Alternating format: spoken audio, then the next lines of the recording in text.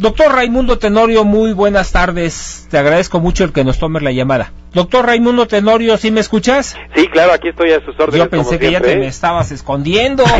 ¿eh? Ojalá yo dije con todo lo que estoy diciendo y luego, ¿de dónde certifico que, que, es real la información que tenemos?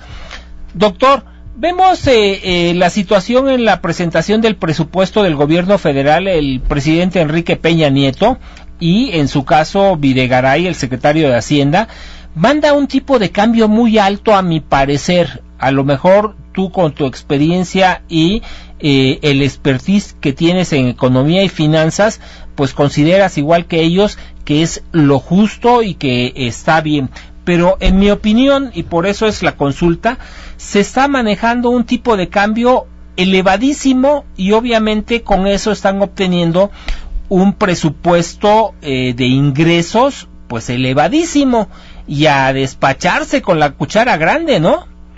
Bueno, un tipo de cambio estimado, a final de cuentas, eh, está en razón de la oferta y la demanda. Claro. Es un hecho que el Banco de México, como el principal oferente de dólares en el mercado para las transacciones de importaciones, exportaciones, etcétera, pagos de deuda, intereses, eh, puede eh, meter al mercado, como lo mencionabas hace un rato, cualquier cantidad de dólares. Sin embargo, para obtener un tipo de cambio como el que está estimando la Secretaría de Hacienda, bueno, pues habría que estimar, entre otras cosas, que la entrada de capitales a México en el 2016 tendría que ser muy similar a la que se dio en el año 2013 y año 2012. En esos años entraron al país 42 mil millones de dólares en promedio desde el extranjero, atraídos fundamentalmente por la tasa de interés que se ofrecen en valores gubernamentales.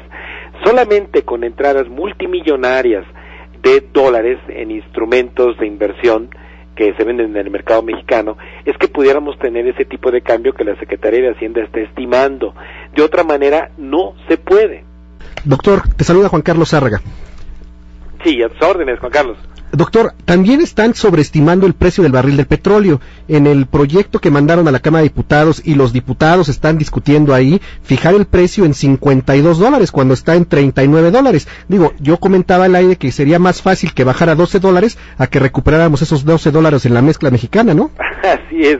Mira, esa sobreestimación en el precio es porque se compraron coberturas, estas llamados seguros, para que el que vende eh, pueda asegurar un precio piso, en este caso de 49 dólares por barril, pero solamente serían 212 millones de barriles de petróleo, es decir, de enero de 2016 hasta si acaso julio del 2016, es decir, ninguna, ningún mercado te puede asegurar cubrirte el 100% de lo que le vendes al mercado.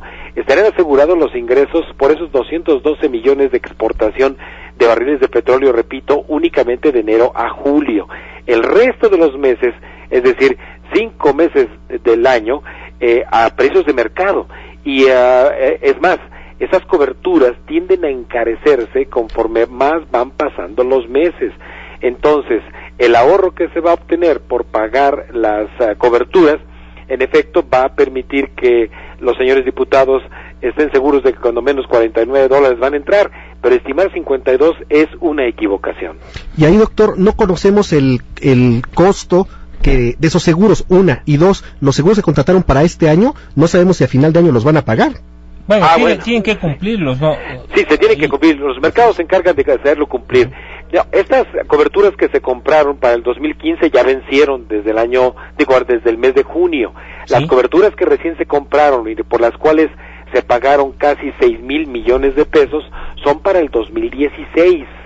Entonces, eh, para el 2016 sí está seguro la entrada de eh, 49 dólares por barril de exportación, siempre y cuando no siga cayendo el volumen de petróleo exportado, porque como bien lo reportabas también hace un rato, el volumen de petróleo exportado está cayendo. Claro.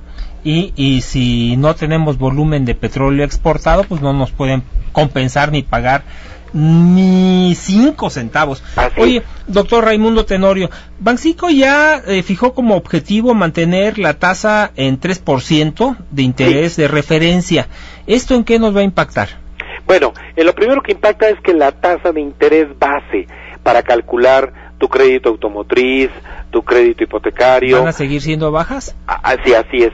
Esta tasa que fija el Banco de México es por los recursos que el Banco de México tiene cada día para poder eh, prestarle a alguna institución bancaria que le haga falta dinero en un día determinado por recursos que le exigen sus ahorradores. Ese dinero que puede prestar el Banco de México no es ilimitado, es una determinada cantidad al día. Eh, ese 3% es a la tasa a la cual el Banco de México les prestaría por un solo día. ¿Esto qué quiere decir? Que entre los bancos, cuando saben que le pueden pedir al Banco de México, pero no le pueden pedir ilimitadamente, vamos a suponer que consiguen 60 millones de pesos con Banco de México al 3% y necesitarán 40 millones de pesos más. Necesitan conseguirla con otro de sus socios de mercado, en este caso otro banco comercial que no les va a prestar al 3, les va a prestar al 3.1, al 3.4 y entonces lo que se genera día con día es lo que conocemos como TIE, tasa de interés interbancaria de equilibrio. Y esa tasa de interés interbancaria de equilibrio, perdón, es la que sirve para fijar la tasa base de cálculo en intereses de operaciones de préstamo. Pues muchísimas gracias, doctor Raimundo Tenorio. Ya nos pusiste en perspectiva lo que va a suceder. Gracias.